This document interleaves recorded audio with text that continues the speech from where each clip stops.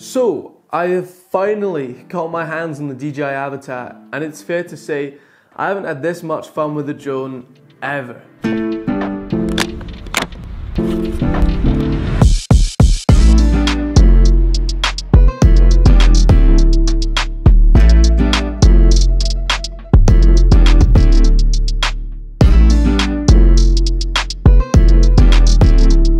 Okay, so let's get straight into it and keep in mind that this video isn't sponsored in any way, hence why I got the drone four months late, and all my opinions are honest and my own.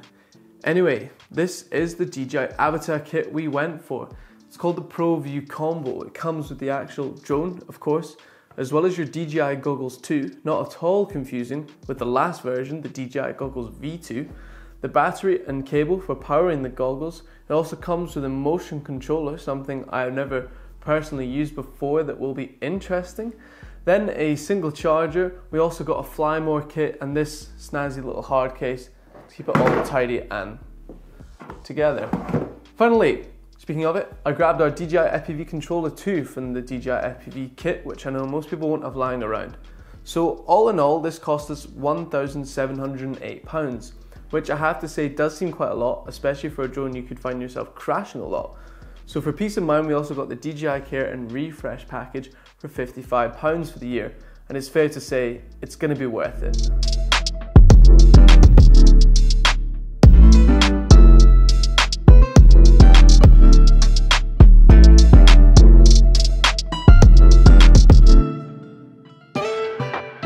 Okay, so let's get onto all this kit and discuss just how good it is while also showing you footage while I talk. If you already bought the DJI FPV and just want the drone without the new goggles or anything else, anything else, it will cost you £499, which is also good to know if something were to go wrong. The drone itself is an extremely slick design and I'm glad DJI went for a Cinewhoop design this time. For those who don't know, this is what a Cinewhoop is. It's a type of FPV drone that protects the props all around and allows for more stable, smooth, and as in the name, cinematic flying and footage, as well as also improving the longevity of your drone with the protection. And despite this, can still perform all your flips and tricks a lot better than this drone can actually. So that's pretty incredible to be honest. It's very good in manual mode. It also allows for a turtle mode, meaning if the drone were to land on its back, you can simply go into the menus, select the turtle mode button, and it will fix itself back to normal like a car on GTA 5 or something. A crazy bit of tech that will hopefully save you time walking to where you've crashed. It weighs 410 grams and has a max hover time of 18 minutes, so a max flight time of around 15 minutes. The Avata has a max speed of 60 miles per hour, and you'll need to be in manual mode going full pelt in order to achieve that. The only sensors the drone has is downward, and that's simply for return to home and landing. The minute you start flying, these won't help you brake or bypass detected obstacles. The battery is just sliding at the back, plug in at the bottom, and a press and hold to start the drone. One major problem with the drone and the battery system is that the batteries can fly out of the back and power off the drone even in minor collisions when you hit something. So just always keep your drone close and make sure your spotter can see it. We are looking at solutions and this is a universal problem from what we've seen. The batteries also take quite a while to charge.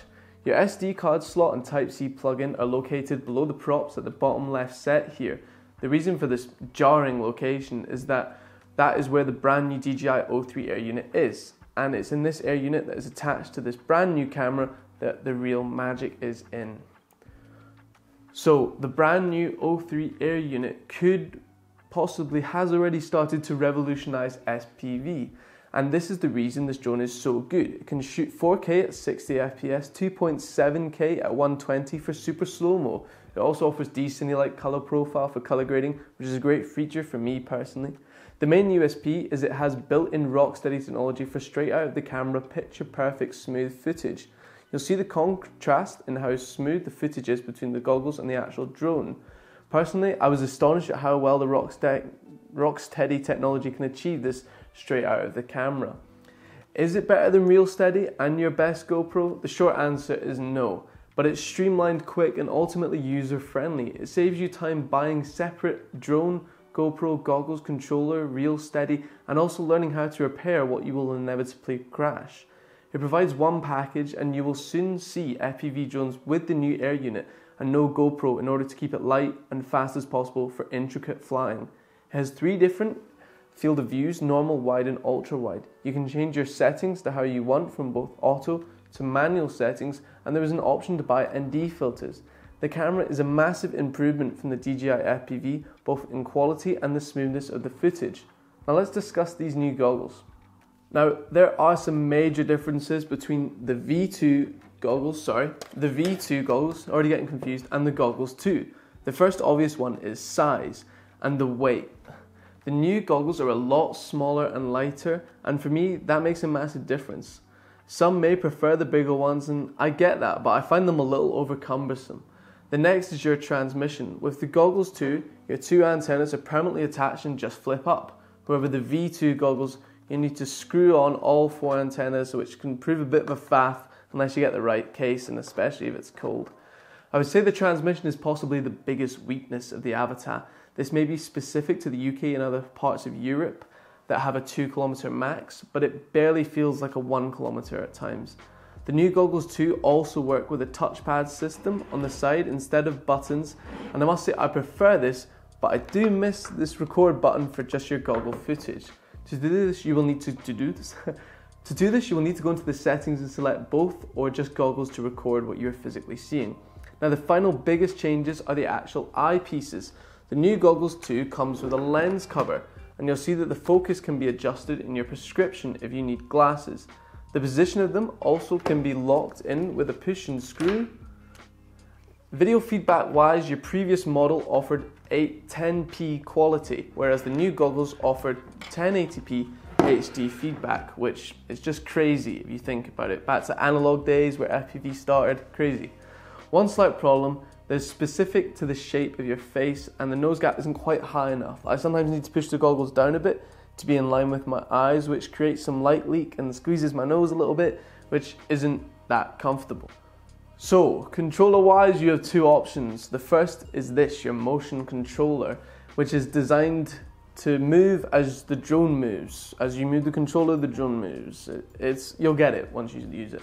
It's great for starting off and for letting beginners and friends have a go, but if you are looking to learn manual mode and really push your FPV flying, then you'll need to get the DJI FPV Controller 2, which comes in at £139 to buy separately. I think it's well known that everyone is a big fan of this controller, lightweight and does the job without unnecessary switches. Now, I'll be doing a full video on the best way to fly the Avata in manual mode, so I will go into more controller specifics then, and maybe more settings then, so make sure to subscribe subscribe so you don't miss a thing. Okay, conclusion time and a quick roundup of the best and worst aspects of the DJI Avata, as always, in my humble opinion. I believe this version of FPV drone is definitely a step in the right direction for DJI. It's quick to set up, all very user friendly, and a great way to slowly improve your flying and eventually rip it up in manual mode. The camera is honestly out of this world. The quality and the built-in stabilization will save you time in all stages of the video making process. The goggles too are nearly perfect, but unfortunately they aren't comfy for me, and I've seen a few people saying this as well.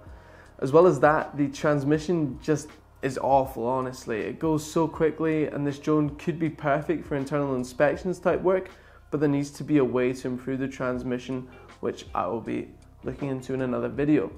The other downside, as I mentioned, is the battery popping out, but I'll also be testing some alternatives to stopping this. So all in all, this drone is a one-of-a-kind FPV. You'll never get bored of taking it to crazy cool locations, and for me, I'd always have it in the boot of my car just in case.